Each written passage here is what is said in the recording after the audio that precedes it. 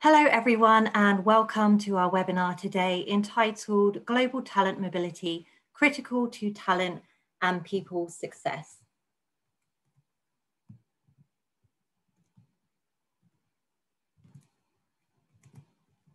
Uh, just some general info before we get started. There will be a Q&A towards the end. If you have any questions, you'll see a Q&A box at the bottom of your screen. Please drop any questions into there. We will share the recording and slides via email shortly after the session. And finally, if you run into any technical issues or if you have any questions or feedback, please email me at holly.smith at topia.com. So I'd like to um, introduce you to our speakers today. We are absolutely thrilled to be joined by our special guest, David Wilson. David is the founder and CEO of Fosway Group, Europe's number one HR industry analyst. A major commenter on the HR, talent and learning industries for over 20 years, David is a strategic advisor to many major corporate and supplier organizations in the UK and Europe. David personally leads Fosway's research and corporate advisory agenda and is the author of over 150 research papers and articles. We also have our very own Steve Black, co-founder and chief strategy officer here at Topia. Since co-founding Topia in 2011, Steve has been here to see the company grow from a small London-based startup to an award-winning global talent mobility management platform, supporting organizations around the world. At Topia, Steve leads strategic initiatives leveraging deep industry technology and customer insights. An expatriate himself, originally from the US, Steve understands the challenges of moving abroad and is dedicated to ensuring that everything we do at Topia is in the best interest of our customers. Without further ado, I'd like to hand over to our speakers. Hi, um, everybody, and thank you from, from me too, uh, in terms of uh, joining us today. Um, I'd like to uh, switch across, so hopefully that's that's that's showing okay. Um, like to uh, say thank you from behalf of Fosway as well. Um, looking forward to a really interesting conversation with Steve today around the whole topic around uh, global talent mobility and you know, I think what we're seeing is a, a, really exponential growth in the importance of some of the topics around this, uh, particularly obviously due to what's been going on with COVID and the uh, and the pandemic, um, consequence of the pandemic. So, if you're not familiar with Fosway, we're an industry analyst firm. We're based in the UK, but we focus on European organizations, typically European multinationals or the European global firms, um, and very much large kind of enterprise stuff and, and downwards from that. Um, we also publish a number of things, some of which I'm going to talk about today in terms of trends research, etc. And um, some of you may be familiar with us from our Fosway 9 grids, which are our market assessment, looking at key market spaces and so on. And, uh, you know, I've got a few slides before we're going to hand over to Steve, and then we're going to go into a discussion. And one of the things we want to talk about is some of the recent research we've been announcing around what we're calling talent and people success. Um, from a general context point of view, just I thought it'd be worth worth going back and just talking about some of these things eh, because um, just to give us a sense of really of where we're coming from and what some of the challenges were even before the pandemic, of course. The, the first one, which I think is a pretty well trodden narrative, which is skills um, are, are, a massive issue for um, for you know all organizations or vast majority of organizations. You know, we did some research in our 2020 um, HR realities research looking at the um, the, the ability to get hold of skills. So this is just prior, immediately prior to COVID, and we got 93% of organizations found it's very difficult for them to hire skills. And interestingly enough, whilst COVID has created lots of economic impact and obviously has created a situation where many companies are you know, furloughed staff or eh, laid off staff, etc., because of it, and, and, you know, with huge, huge implications. Interestingly, the way that's impacted the skills market is, is, is really challenging in the sense that the areas of growth particularly around digital and more transformational stuff, have often been the things that were hardest to acquire in the first place. So just because there's been a big shift in things like unemployment doesn't necessarily mean it's addressed some of the higher skill areas that we've we had challenges in previously. And critically, I think, as a consequence of the the pandemic, what we've seen is a big impact in the way that obviously HR functions and talent functions have had to respond, uh, have responded to this. And, um, you know, that, that pressure around skills particularly has created kind of a, a, real real need for organizations to look at how they optimize their workforce and looking at how they um, you know reskill um, or um, you know, transform their kind of organization and operating model. 39, this is some Korn Ferry research, but 14, 39% of HR leaders saying they're also trying to use that as a way of changing their priorities um, around talent. Um, and, you know, that's, you know, so we're seeing really significant impacts, not just in terms of employment, but also and skills, but in terms of the the approach that companies are taking to talent too. Um, and that's really for us leading to what we're kind of we're talking about as a new wave in in kind of HR innovation and HR evolution. Um, you know, we always talk about the level of change within HR being so significant, you know, being very significant. But genuinely, I think in one fell swoop, we've seen a massive, massive transition. Obviously, with first of all HR just trying to focus on understanding the direct impacts of things like the pandemic, but then also really trying to work out how it responded to that, keep the lights on in the business effectively to start with, but then also move into trying to think about is what does the shape of that workforce need to be going forward? And that's creating lots and lots of new pressures.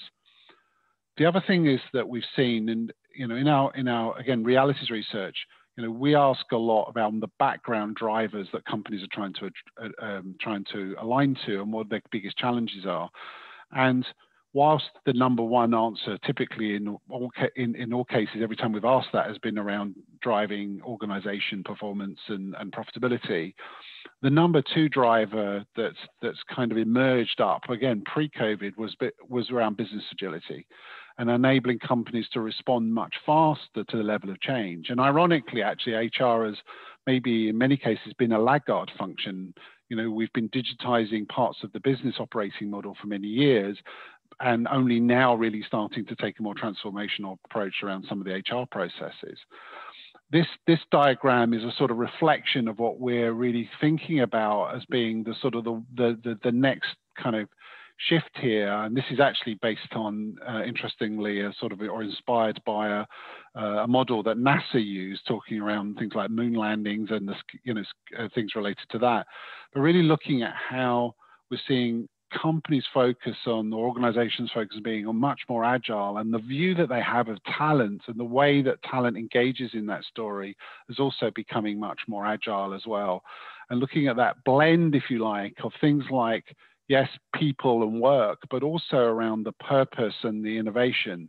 So things like around, you know, how do we um, enable people's success? How do we drive, you know, energy and organizational fluidity? Um, how do we make the processes a lot more agile? How do we upskill and reskill people, etc.? And overall, how do we create a an experience around this that's a lot more seamless um, and probably intelligent as well. And and kind of at the heart of all of this, or in the in you know in in the sweet spot in the mem- the of this Venn diagram is is something which is around we're talking around um, democratizing, accelerating the flow of talent. You know that whole shift around you know how we view talent. Talent's not just a of you for top level people or, or your high performers. This is something, this is an issue now that really is transcending lots of organizations. And that's driving, I think, a really big shift in the talent story. On the left hand side here, you will see what we call the kind of the old foundation. So this is more the traditional sort of talent life cycle. Um, that, that is still in many organizations. And what we're seeing is this get quite disrupted. So to some degree, that's being some of this is being sucked into the HR and HCM space. You know, with some of the, the, the big HR vendors, particularly trying to embed these processes within their overall offering set. But at the same time that's been going on, we've seen significant disruption um, and the evolution of kind of new, much more dynamic approaches around each of these topic areas. You know, so it's less about you know, personal development is important, but we're really, really focused around things like reskilling and upskilling. You know, the traditional appraisal approaches is being re replaced by almost a continuous mentoring model. Um, internal job boards by things like gig marketplaces and so on and things like this. So it's not that the left side has gone away, it's just been really kind of transformed and disruptive by a, a, kind of right side agenda with a much more differentiating story here in terms of what we're looking for. And, and one of the big topics that we're seeing um, impacted by this, both because of that skills agenda and because of that much more agile, much more dynamic, is around talent mobility. Lots of the organizations that we talk to are really trying to understand how they op you know, how they can optimize and move, um, uh, you know, redeploy and um, skills and capability in the organization on a much more dynamic basis um, less associated with historical hierarchical models, much more, much more, whether it's not necessarily always gigs, but in terms of a much more dynamic approach. And I think ultimately within that, that defines a set of kind of opportunities and challenges which like lead us to the conversation that kind of we're having today, because this is an area where we're seeing pretty much all the large enterprise type organizations really starting to focus on how they do this and how they enable this in a much more effective way. And ultimately, this all fits into a big kind of effectively overall ecosystem. The, the, uh, the diagram I'm showing here is the what we call the Fosway's um, HCM solution model. And we've kind of reworked that in 2020 to change certain things. So for example, we've put skills in the in in the core really as, a, as, a, as something that really kind of transcends all now all of these talent layers and so on. Um, and we've sort of reworked quite a lot of the if you like, the outer hexagon layer in terms of things, you know, whether that's from recruiting and talent acquisition through to things like career and mobility and performance, etc. Really about being able to engage with these more more disruptive processes and these more disruptive outcomes. And one of the things the pandemic's done is is, is really kind of hugely accelerate the need to show outcome from this you know that, that that's, that's, that's a critical issue for organizations is you know they they haven't got multiple years to invest in showing things that deliver an outcome. They really want to be able to do that fast. Um, and and ultimately all of those changes we're talking about has lead us towards around thinking about how companies are ultimately rethinking work as well as working and teams, you know, the way that this all fits together. So we talk about within Fosway the sort of accelerators for kind of people success and, and people empowerment, you know, and you can see again, you can see it looks like a life cycle, but there's a fundamental shift in how how this is. And we're looking up on the right hand side of this, top right hand side, really thinking around, you know, that whole talent mobility and, and mobility optimization and a lot of these themes which ultimately I think really well align with you know what Topia is trying to do as an organization and, and, and I look forward to having more of that conversation with with, with Steve as uh, later on. Ultimately for us, um, I mentioned our Fosway 9 grids earlier, this is leading towards a kind of significant recalibration away from what we talked about historically within Fosway as a, an integrated talent management view um, towards now a much more kind of disruptive talent and people success model. So we've gone through this. This was announced at the end of October. It's generated a kind of huge amount of interest.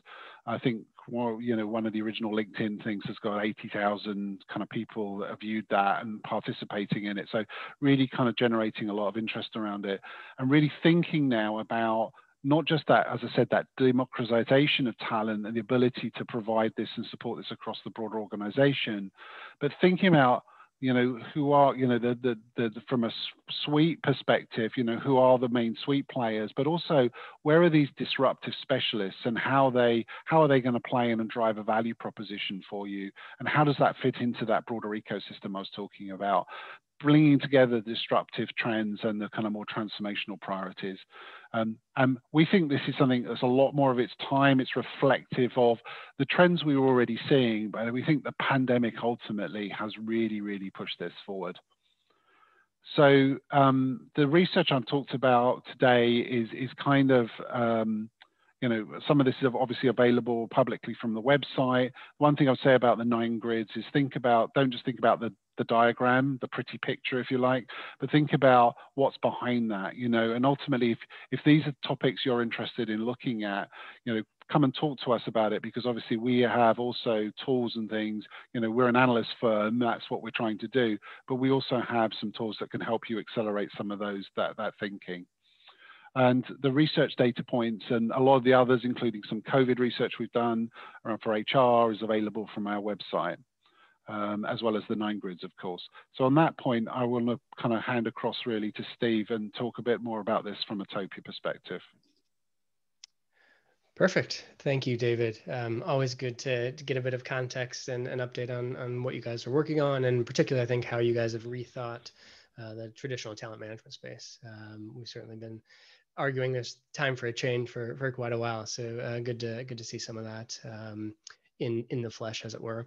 So uh, you know with the with with david setting the scene around uh, the sort of fosway perspective and, and the nine grid i wanted to spend just a couple of minutes here you know for folks that maybe are familiar with fosway and less familiar with topia and the global talent mobility category. Um, just a little bit of scene setting so that the uh, back half of the conversation and, and, discussion between david and i makes sense and, and has some context.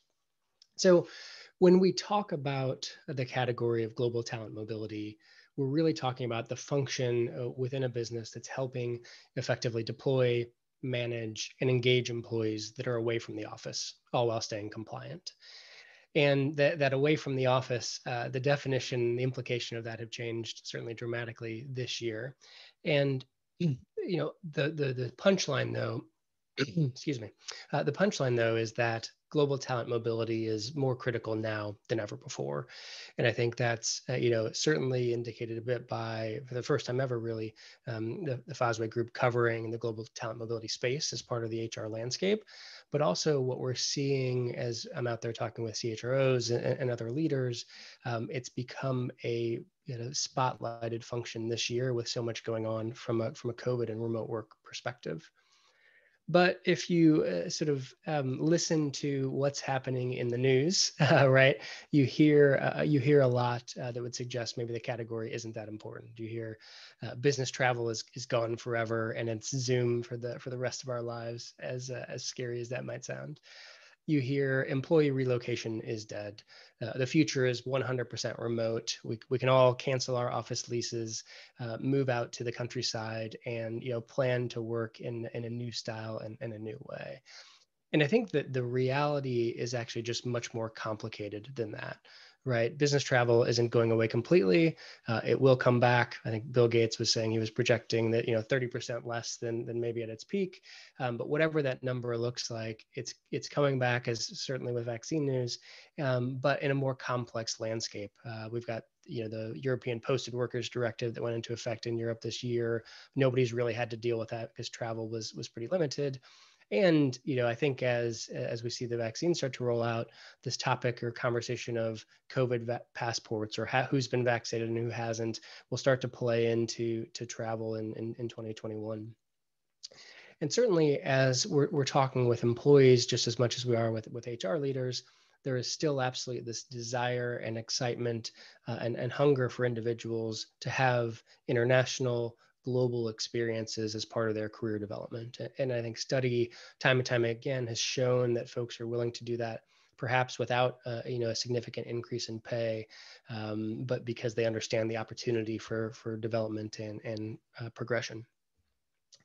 And when you look back over the uh, story of the category of, of global talent mobility, 15, 20 years ago, it was really about a handful of very um, specific, very expensive senior executive ex- expats.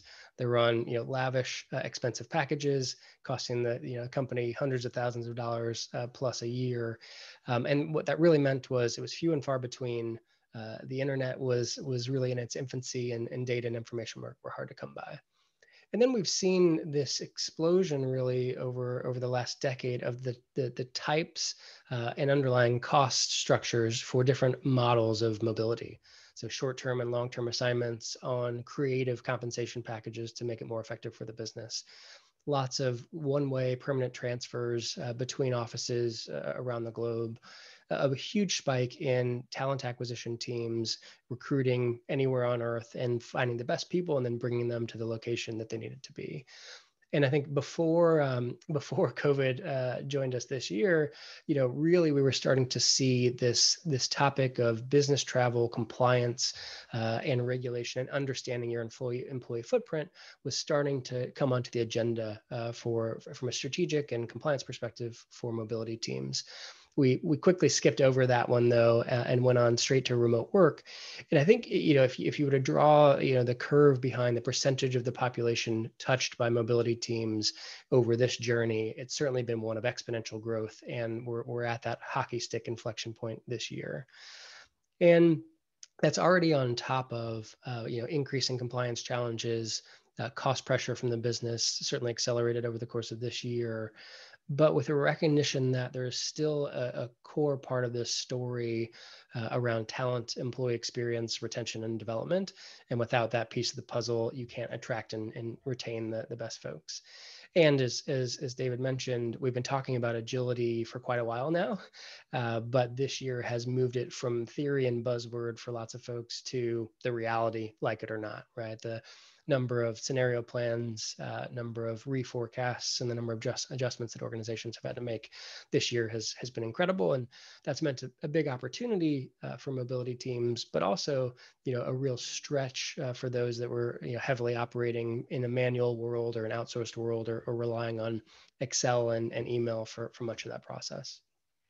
And you know, w- when I think about the new normal, uh, to, to use a, an overused phrase, certainly, I think the, the everything I'm hearing, you know, vaccine aside, and and and even beyond 2021, right, is that the new normal is going to be increasingly complex, flexible, and, and fluid. So as you think about an organization's talent strategy, it needs to be completely woven in with the global talent mobility strategy. You can't have sort of two sides of the coin disconnected and be thinking about strategy and the movement and location of people differently. It needs to be woven together. And we've seen, you know, many leading organizations pulling functions that have been potentially different parts of the business or parts of HR before, pulling those together to really weave that um, weave that conversation and strategy together. I think there's also a big piece um, around getting ahead of new risks and regulations. So, you know, we, we've seen actually a, a, pretty relaxed year when it comes to compliance of where people are working, given the nature of the pandemic, how it evolved, and the reality of closed borders, quarantines, and, and the like. But I think the, the thing that we're, we're, we're highly confident of is as we head into 2021, governments around the world uh, are going to be in serious budget deficit and they will find a way to come calling for folks that aren't on staying on top of compliance and, and regulation.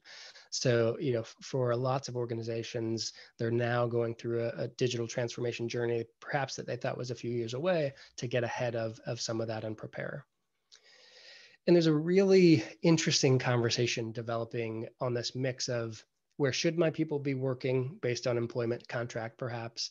Uh, where are they actually working and where do they want to be working? And i expect that will go through uh, you know a series of, of, of, conversations and evolution around what's the right mix of talent deployment models for each organization and then what fundamentally is the data technology and information you need to support that complexity so I, I, think this new normal is is one of complexity and, and one of challenge. And the question is going to be, you know, who who can step up to that um, and really lean in and, and win the talent wars in an in, increasingly compact, complex and uh, competitive environment. So that's uh, that's the uh, end of the slide section of this, um, but we wanted to at least set the tables for um, you know for everyone uh, with a bit of context around both the, the, the Fosway experience and, and, thinking, as well as uh, the Topia's perspective around global talent mobility. So should we dive into uh, to, to some of the detail, David? Sounds a good idea to me. Great. So I, I, think you know one of the things um, that you know I, I, wanted to talk a little bit about was a understanding, you know, from a, from a Fosway perspective is, you know, why start covering the global talent mobility category, you know, now? Um, obviously, it's it's been something that I know you've looked at over the years, but you know, what's the reason it's now in the in the landscape? And and you alluded to this this topic of you know specialist disruptors as part of a broader HR ecosystem. So yeah. maybe shed a little bit of light for folks on on that that might not be as familiar with the the category or its you know reach in the HR space. Yeah, and so thanks, Steve, for that. And I mean, the other thing I was kind of conscious of is that I stuck the nine grid up, which had Topia on it, and didn't actually talk about where Topia was, which was uh, which was probably something you'd like me to do as well. So I think uh, generally the point that we've seen is, and, and, we've been on this journey for some time, right, from a Fosway point of view, mm. as looking as this evolving story, you know, from foundations which were around systems of record and then vendors start talking about you know systems of engagement and the experience layers and all of these sort of buzz terms that you're coming out of the market and i think one of the things that we've been increasingly looking at as i said is from a you know from a broader hr process so some of this is is not specific obviously to global talent mobility and it's it's just a reflection that what we've seen is mm. that you know, the traditional talent life cycle to some degree has got increasingly sucked into the HCM world and the, in, in the kind of cloud HCM. And that, you know, often the traditional, also the, the, the, the bulk processes certainly have, and then the higher value processes, which historically maybe have been, particularly for European and, and international companies, mm. maybe a little bit more selective in where they've been targeted that started to become increasingly challenges and needed to be more diversified. And what we've seen underneath this is the growth of these very kind of disruptive um, specialist um, kind of application areas and, and kind of topics which are kind of being rethought and redone all the time. So becoming more dynamic, more continuous, more mm. more engaged, higher experience outcomes and things like this. So we've seen a lot of topics across those life cycle, and and, and then we felt really that what we needed to do was to reflect that change back into the suite and specialist story, and that became a, that was a more relative more more relevant narrative, if you like, for describing the different types of vendors that we saw in the market, and mm. ultimately what corporates were needing to buy. Um, but as I said, within there, you know, one of the areas, I mean, we've been we've been sort of tracking the, the global talent mobility story for a few years, in fact, and um, but I think one of the things that we became really aware of is if you like, the disruptive impact that that can have and the value proposition that creates for companies. So both how difficult, you know, going back to the earlier parts, maybe the middle of your uh, your spectrum your, of mm. change, you know, basically, you know, there's a very strong commercial value proposition about doing that well when it came to business travel and you know sort of the the, the sort of bigger capital M on mobility sure. um, and that was really starting to drive I think very strong value stories you know we talked to obviously as part of our, our research and nine grids are very um, the, the customer influence is the strongest influence in all of this, right? Not what the vendors say about themselves, but what the customers yeah. say. You know, when you start talking to customers that basically couldn't do, can't do their job without this stuff being in place, or they're exposing their organization to consequential risk financially, or you mm. know, in, individual employees, then that's some things you need to start listening, listen, listen, listening to. And I think then the other thing, and you talked about that quite eloquently, I think at the end, is that transition to really focusing on who's not working in the office, right? And what is our kind of our, our, risk and exposure, as well as what is our enablement layer around making that truly effective, right? And that went in one fell swoop from being in most companies a you know 10% or of the company to being mm. yeah. 90% of the company or 100% of the company in some cases.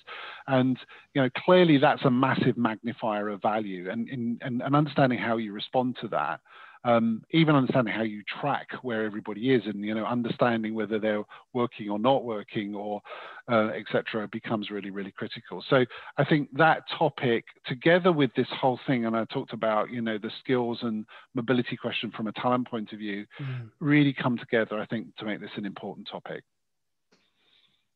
Yeah, no, I mean, absolutely. And we've seen it's been interesting, you know, certainly this year um, as the, the balance of, you know, what folks are coming to us to talk about and explore has, you know, we've, we've always had this, you know, uh, the, the, big M, as you alluded to it in, in mobility of the, the complex, messy stuff of how do I get 30 people on a project into this country in this timeline cost effectively and in compliance. And that's, it's really, of course, shifted to this now problem that's facing every organization, which is where that where are my people? Right? And this um, it was interesting i guess evolution as it as it was of of um, that conversation over the course, course of this year right? So it started in you know february march timeframe when we, we all heard covid for the first time with okay who's been to italy? Who's been to china? Where are they now? When are borders closing? How on earth do we get these people out of the country if we need to or do we leave them there? Type type conversations. mm-hmm and so for, for lots of mobility teams, that was, um, uh, you know, for one of the first times for many, the spotlight of the CEO was shining very brightly, right, on that on that function of we need the data, we need to understand this. And some organizations were fortunate they put tools and, and, and stuff in place, and others I think were in scrambling mode. I've heard an awful lot about Excel spreadsheets this year, right, of you know self-reported location based on you know who we could get a hold of type type conversation. Mm-hmm and then there's been this um, you know maturation of, of the conversation and of the thinking of the ideas partially went through okay now people are safe we've gotten through the first hurdle but employees are starting to come and ask us hey we've said we're not going to have the office open for the next six months or maybe 12 months I, can I go move closer to be with family who's maybe a state or two away, or maybe in the north of England, or maybe in a different country?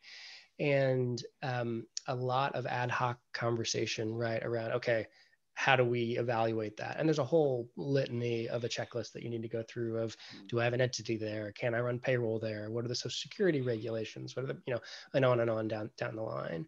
And i think we, we've now gotten to a point where everyone gets the risk right? It's it's it's sort of now I can see it coming. I can see the regulatory um, uh, changes or or holding us to account for the, the real regulations that maybe we got to pass on this year. And now, how do I at scale understand where people are? Because asking people to self-report, you know, uh, in certain industries and and with certain implications may not be enough. Um, and so the conversation a lot has started to shift to this okay, we've decided we're going to track people. How do we do that in a compliant way? How do we do that in a way that doesn't scare people? And how do we communicate the, you know, what we're trying to do and, and why? So it's really, you know, transformed the the course of the and the sort of scope of the conversation over, you know, just the last nine months, really. Yeah, I mean, some of that, Steve, comes through in the research that we did earlier in the year, looking at the kind of response to COVID. And mm-hmm. as you said, a lot of this is manager conversations tracked through spreadsheets. And mm-hmm you know, frankly, what that means is it's never up to date, it's never perfect, etc. Um, maybe there's some parallels with the the test and trace type stuff that's going on, you know, in terms of the broader broader economy and COVID. But I mean, at the end of the day, there is some really kind of fundamental issues. Obviously, we've also seen companies um, you know, and we'll, who knows what this is going to turn out to be like longer term. But you've seen companies who have um, you know, made statements about shutting offices permanently or staff can work wherever they are. We've also seen some of them, e.g. Facebook, I think, for example, talk mm. about, and by the way, this is going to impact your compensation at some point, right? Mm. Um, and as you, you know, as you said, in, uh, you know, that may impact which, you know, from a tax point of view and all sorts of other things. And I think, I think it's just a minefield, right? So, and that minefield has got exponentially more complicated. Um, so there are already, as I said, there are already clear drivers and, and a very clear value proposition around doing this well, both from a, a, a cost you know, of a cost management point of view, but ultimately also from a risk management perspective, um, which had huge you know, consequences of it. We've now just multiplied that by a factor of 10, possibly in terms of what it means. And I think it's not clear how that's going to unwind. So definitely, I think this is a space that that that is, you know, first of all worthy of more attention, and secondly, mm. is actually needs to be thought about as a specialism, but also as part of that bigger ecosystem story in terms of how does this really connect in, you know, which is I know, I know is an area that you focus on a lot. Yeah, and it, it's interesting because the um, the nice thing about it for, for organizations is there's there's an immediate problem of where are my people that are now working remotely, right? And I was talking to a CHRO yesterday, and the way they found out a lot about a, a lot of hidden uh, hidden movement of their staff during COVID was they were sending out uh, company sweatshirts. So San Francisco tech company, of course, right? When but people update their address when they've got a you know some free clothes coming, and all of a sudden you know dozens of people popping up around the country. Like I had no idea you were in the state. You know you mm. actually might not be allowed to work there type type conversations. And so I, I, we've seen that the, those sorts of interesting and eye-opening um, things things start to happen. But you know you, if you solve that first problem of where are my remote workers then you're also actually in a great place to solve the problem of where my business travelers when travel starts to open back up. And then you're in a great place when actual physical movement of on a permanent basis or a longer you know basis um, starts to open back up. And so i think we'll we'll start to see and we're already seeing you know these transformations within this part of, of HR tech and within mobility that have maybe been on the back burner. You know, I've been pleasantly surprised about how many folks are getting budget or, or proving a strong ROI case case study. You know, even in the middle, midst of a pandemic, because they can see the sort of growth and expansion, particularly as they think about how am I going to manage my talent pool over the long run, right? Yeah. I mean, again, another interesting point that we saw from some of our research is 20% of the organizations we're talking to had extended extended their kind of licensing and, and put new or put new solutions in. Uh, interestingly, companies that already had maybe some digital platforms in for managing these kinds of processes maybe found it twice as easy to respond and adjust to some of the COVID related drivers and pe- companies that had no capability found it three times harder, right? So there's a maturity around the ability to engage in some of these topics as well, which quite significantly impact the ability to respond. Um, mm-hmm. You know, and uh, and as I said, that's let alone those longer term, more more nuanced maybe uh, topics that then emerge from that. So. Yeah, and, and I was going to ask, you know, your your perspective, you know, not just in global talent mobility specifically, but more broadly, you know, what have you seen this year um, from uh, technology investment from from organizations, particularly in the HR space, where people have been willing to invest, where people may maybe pump the brakes a little bit? What's that? What's that looked like? So, I mean, we, I mean, first of all, for the probably the last five years, when we look at investment priorities and we look at growth things, we've seen uh, investment in technology-related solutions. 70%, pretty much on average, 70% of companies are increasing their investment in in HR technology. When you and probably um, investing there in upskilling HR and probably slightly reducing the number of HR staff. So there was a background mm-hmm. pattern that was already there. So we want we want HR to be more trans, transformational, less transactional.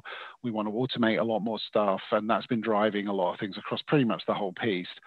I think what's interesting when COVID came, you know, we went through the March, April sky falling in moment when literally it was just okay. And we saw, I think then um, projects, you know, some some projects, some investments freeze. We saw HR, you know, functions get furloughed and staff getting mm-hmm. furloughed, which obviously then impacted certain things.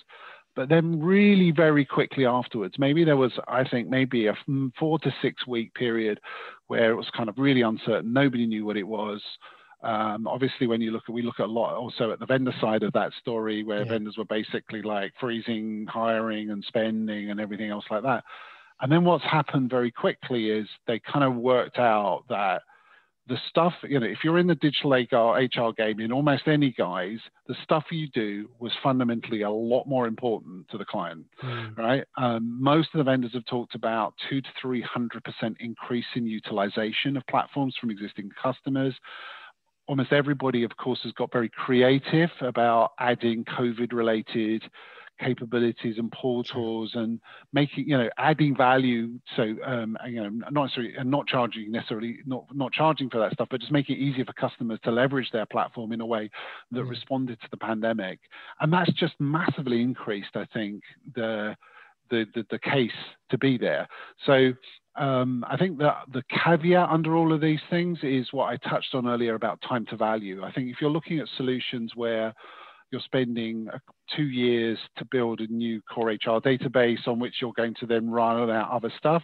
I think some of that has been impacted, not mm. least by, you know, sometimes the team is not there and intact in order to be able to run it forward.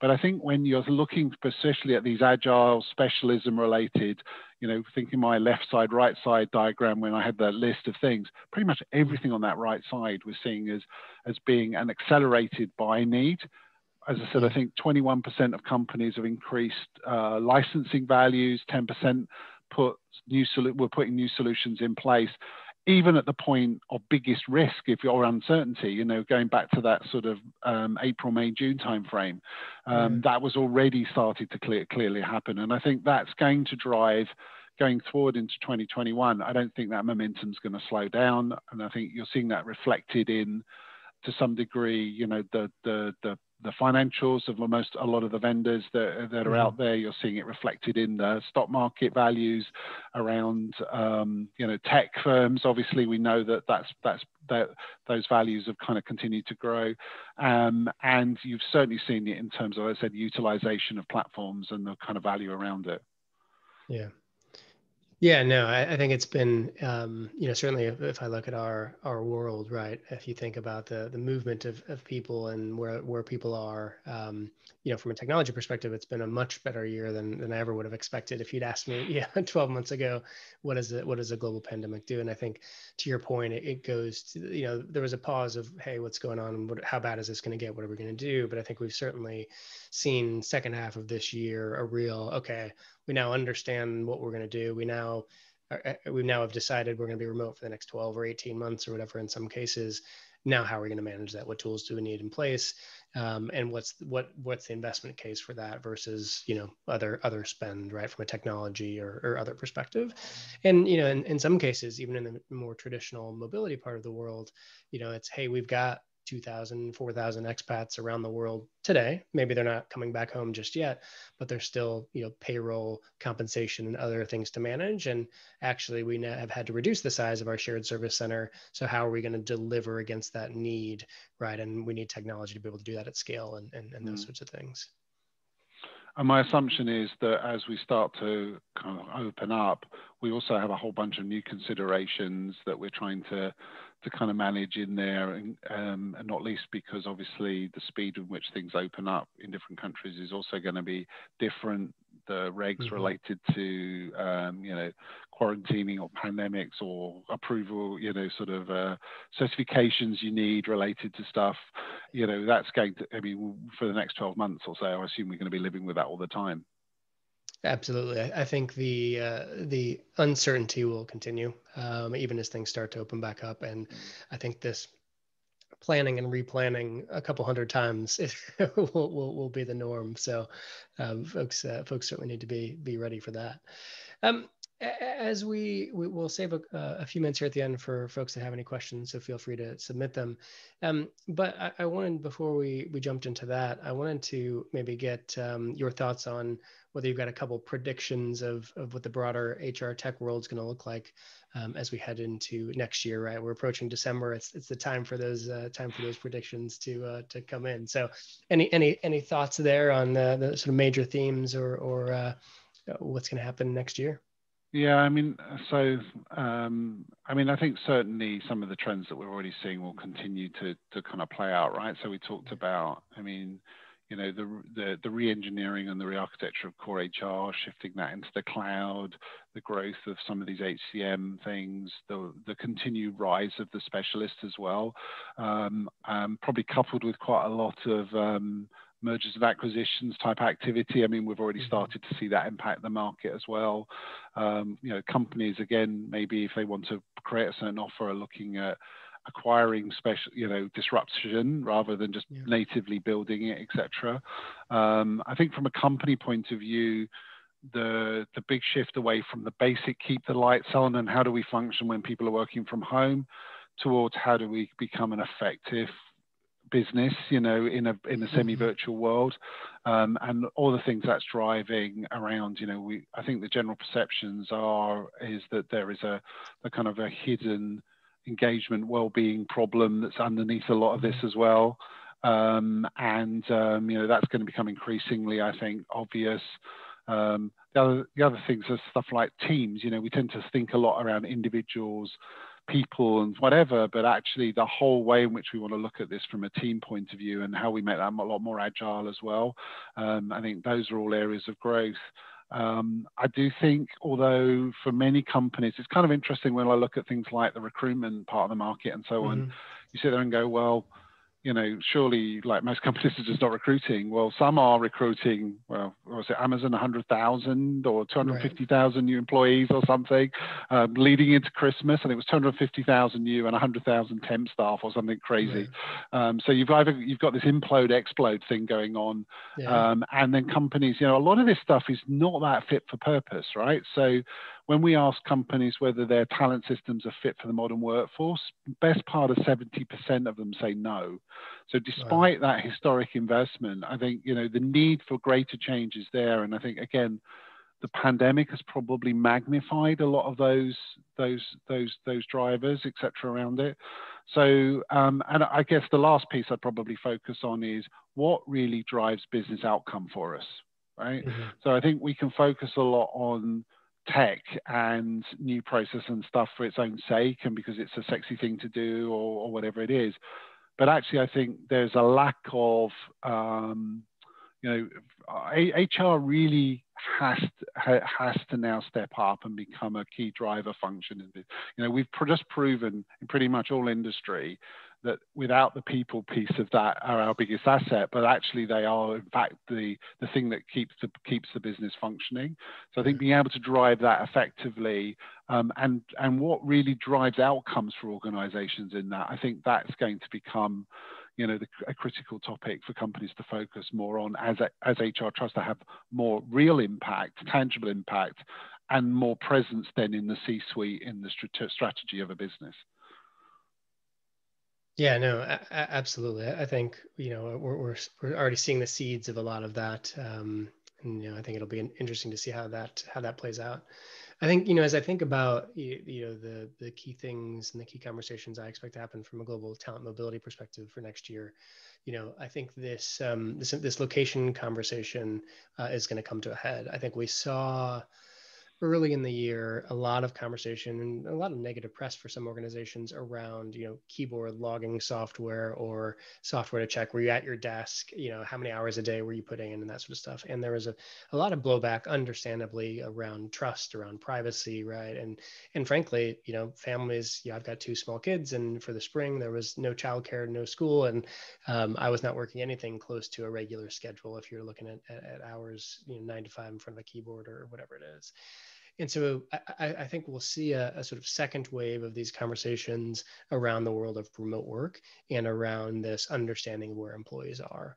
And I think we've seen a few organizations already starting to do it really well when they're able to articulate what why do we need this information right? There's a corporate risk you might not even be aware of. There's a personal risk from a compliance from a tax perspective. You overstay in certain countries you're going they're going to take you to jail right? So there's real real sort of implications um, and I think there's a big piece we always counsel organizations on of make sure you're tracking at the least granular level of data possible for your use case. So, you know, if you think about it from a tax perspective, my employer maybe they care whether i'm in london or you know um, leeds but they it doesn't matter actually from a tax or compliance perspective. They care if i'm in the uk or i'm in france or i'm back visiting family in the us right? Mm. and so i think it's that um, that openness of conversation that that taking people on that journey and helping people understand the, the risk and implications to the company after what's been a tough year for lots of organizations that have seen layoffs and change. And i think presented in the right way. You know we've seen you know employees not have any issue with it. I think pre- presented in the wrong way or maybe hidden um, uh, without without enough uh, conversation up front then all of a sudden you've got a pr challenge on your hands. Not to mention the, the compliance risk uh, if you're not able to, uh, to to figure out where folks are. And then I, I, think the second thing you know that i think is going to happen in, in, in 2021 and realistically it'll probably be towards the second half of the year but borders will start to open movement will start again and it's likely that after an initial trickle we'll see it at a volume right that we haven't seen in 18 months right mm. and so i think organizations getting ready to handle that that shift overnight almost it will feel like i think in some cases to increased movement you know people traveling for work people trying to get to that sales meeting people getting the team together um, you know after a year or so away from each other and so i think being ready for that um, to open uh, and ready for this big growing backlog, frankly. And we can see it from our data of, of customers using the platform. The planning for relocations is still happening. It is um, it hasn't slowed down nearly as much as I would have expected at all. So there's just this building backlog almost of folks that are ready to go when when when the time is right, when they feel safe and when the green light comes. And so I think we'll we'll see some interesting challenges maybe on the supply chain side when uh, when those things those things start to to happen. But I think it will be certainly next year will be an interesting one uh, for sure. Yeah, I, mean, I think what's interesting there is you get to see the data behind, right? So you've got mm. a sense of where some of that backlog and reality is, which in a way, lots of other people are either just running surveys or, or, or um, speculating over. And I think yeah. that's an interesting observation. Uh, I, I, guess the question for me for you, which is we can focus a lot with the global talent mobility story around risk and optimization for the for the company.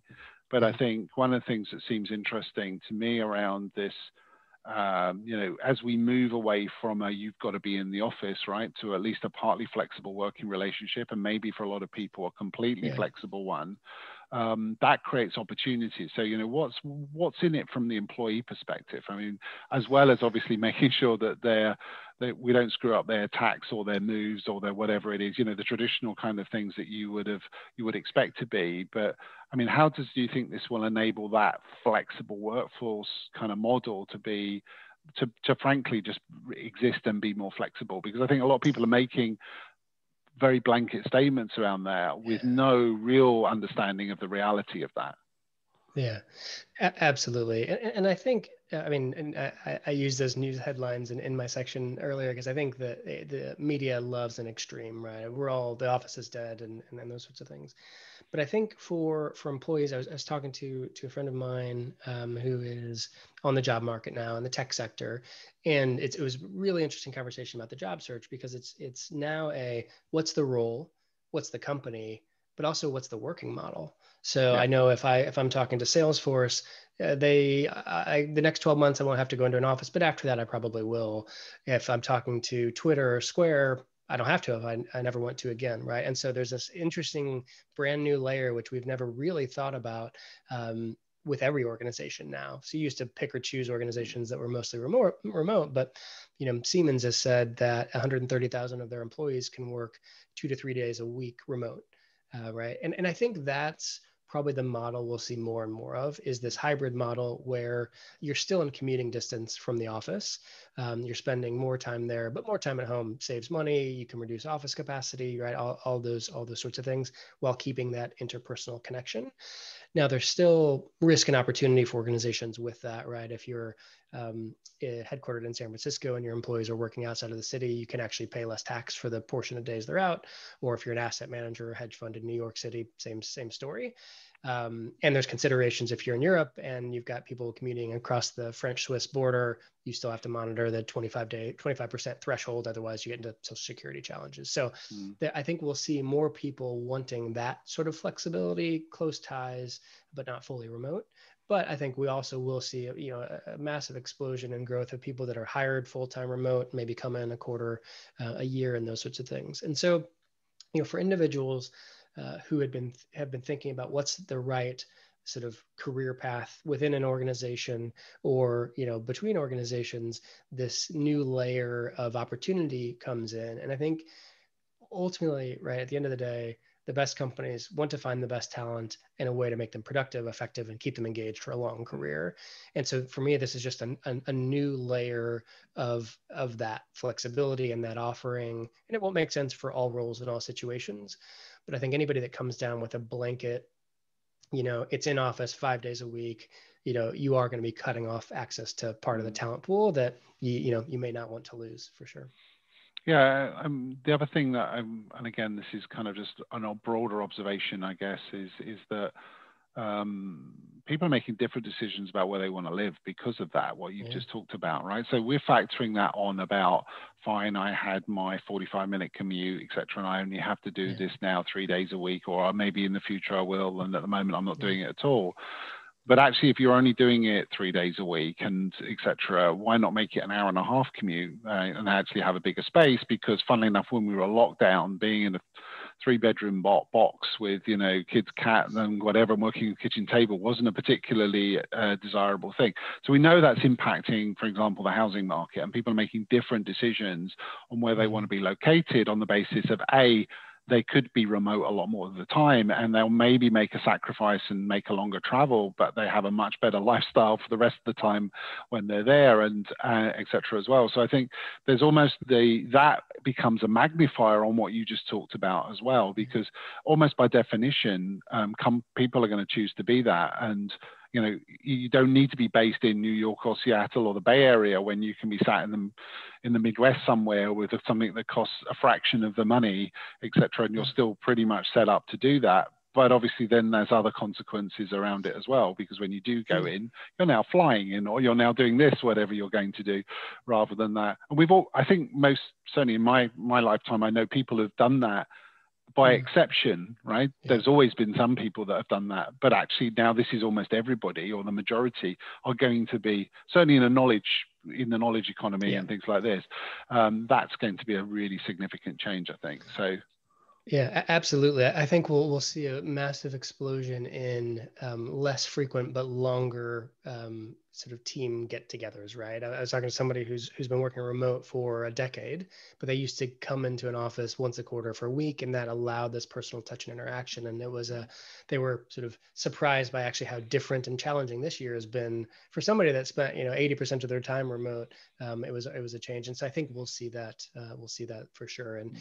you know, if anything, it just it goes to the it is just going to keep getting more and more complex and it's a it's about sort of preparing for that and, and making sure that from a talent perspective right organizations can uh, can support that.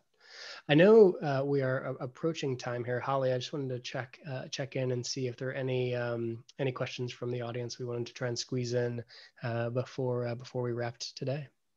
Yeah, yeah, we've got uh, one or two that's come in. So the first one is um, so this year's nine grid, you've thrown out the traditional model of talent management. What does this mean for major players like uh, Workday and SuccessFactors, and how do you expect them to think about integrated specialist partners going forward? So, I mean, we know that the HCM players have made a, a land grab for more of the talent processes, right? And and as they push more into skills, that's getting even bigger again. Um, and at the end of the day, you know, the, I think the case to move away from uh, old school on-prem HR to cloud HCM is, you know, is is clearly there in the background. And, you know, we expect that to continue to happen. But I think the the slide that I showed, which said it, this is about ecosystem, it's never about system, right? So for all that they might want you to think it's all about one system of record, one architecture, that's never been true. And um, I guess more now with the rise of the specialisms and the rise of the disruption piece, that's that's become more clearly the case. So we expect them to grab more land, but at the same time, companies need to put that together with specialist solutions around this. And you know, and the Topia kind of proposition is a really good case in point. I think one of the things we're really interested in, and a lot of the vendors, we've got actually a project at the moment looking at the HR ecosystem and how it all fits together, is the ecosystemness, if I can call it that, of the solutions. How well they play and share with others. And this is not just about basic employee data. It's about workflow. It's about skills. It's around an, an experience sharing kind of thing. And actually, this is sometimes where I think if if if they're trying to control too much of the space, they sometimes mm. uh, can be found wanting. But we expect that to become an important an important thing. The other final point I'd make on that, which is really really important, we mainly focus on um, European multinational companies, UK European and, and European and the globals. You don't get very big in Europe before you become multinational. Mm-hmm. Two thirds of the company that we deal with have a decentralized or federated operating model for HR. They don't have one HR system of record.